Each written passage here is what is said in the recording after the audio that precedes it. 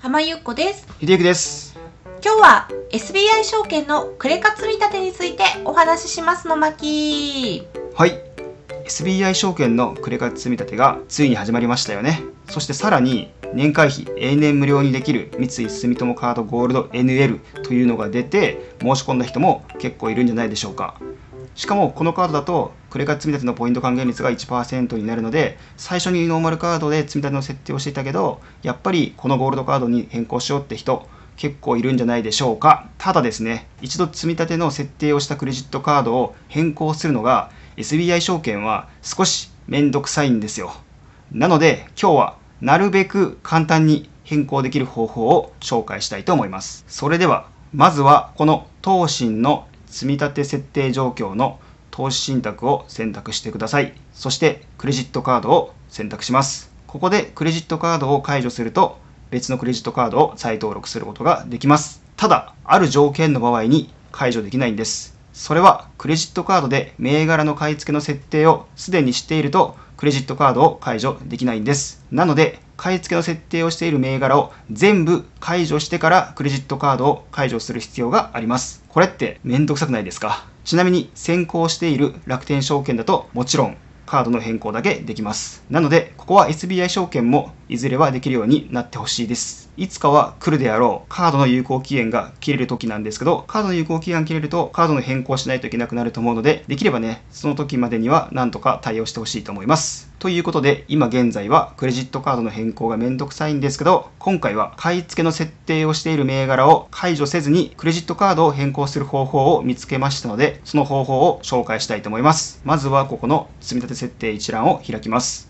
この設定銘柄一覧を全て解除したらクレジットカードを変更できるようになるんですけど解除したらまた銘柄を検索して設定しないといけないんですよね。なのでできれば銘柄を解除したくないなって感じなんですよね。はい。でも大丈夫です。解除しなくてもいい方法を見つけました。その方法は設定している全ての銘柄の決済方法を現金に変えてください。全て現金に変えた後にクレジットカードの変更をしてそして銘柄の決済方法をクレジットカードにまた戻してあげれば OK です。まあといってもこの方法もめんどくさいっちゃめんどくさいんですけどただねクレジットカードを変更した後に銘柄をまた検索して再設定するということをしなくてもよくなるのでまだマシかなと思います。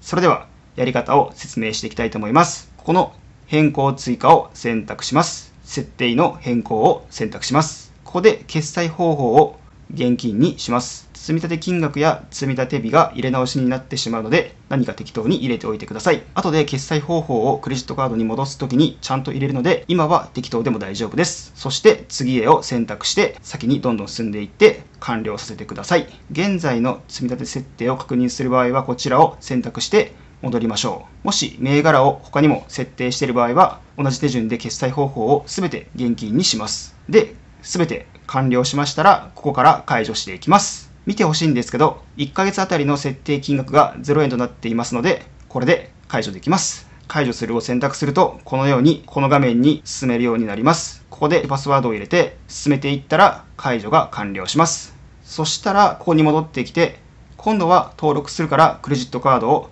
登録しましょう。今回はクレジットカードの変更ということで過去に登録したことがあると思うのでクレジットカードを登録する方法は省略します。で登録できたらこの変更追加から決済方法をクレジットカードに戻していきます。積立金額を入れて次へを選択して画面を進めていって完了させてください。はい。クレジットカード決済になりましたね。これで無事銘柄を解除することなくクレジットカードを変更することができました。銘柄を全て解除してからクレジットカードを変更するよりも今回紹介した方法の方が楽かなと思います。いやーそれにしてもこの仕様本当にめんどくさいですよね。まあおそらくねまだリリースされたばかりだからこうなっていると僕はね信じてるんですけど早くねクレジットカードだけ変えれるようにしてください。お願いします。とりあえず SBI 証券が対応してくれるまでは今回の方法でクレジットカードを変えるのがいいかなと僕は思っています。もしよかったら今回の動画参考にしてみてください。いやー、いちいち銘柄解除しなきゃいけないのは大変ですね。いや大変ですね。うん。まあねそんなにねやることではないとは思うんですけど、うん。ただね今回三井住友カードゴールド NL というね新しいカードが出てきたのでそれによってクレジットカードを変更したいという人がまあまあいるんじゃないかなと思うんですよね。この動画をね見た人は少しは楽にクレジットカードを変更できるんじゃないかなと思います。もう私たちもこうやって動画で声を上げてますしもしかしたら皆さんもツイッターとかでこれは使いにくいって声を上げることで SBI 証券に届くかもしれないですね。そうですね。うん。変更していただきたい。はい。はい。お願いします。そして支払い先を現金に一旦変えることで簡単に変更できるっていう裏技だったんですけどこれ抜け道考えましたね。抜け道かわかんないですけど、うん。クレジットカードで決済する銘柄をなくせばいいので、まあ、それはね解除するでもいいですし決済方法をね現金にするでもいいかと思うんですよ。まあそこをねうまいことついた方法ですかね。はい。よかったら皆さんぜひ参考にしてみてくださいね。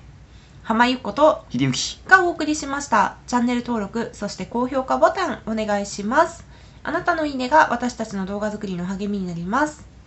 またねバイバーイ。バイバーイ